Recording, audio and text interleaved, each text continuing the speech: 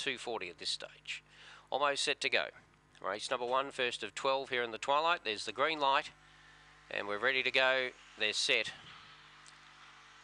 Race one, Racing, Briley got away swiftly, goes straight to the early lead from Nuclear Fusion. Now rolling up on the inside was Shadow Mist Challenge for the lead. Then came Hillbilly J.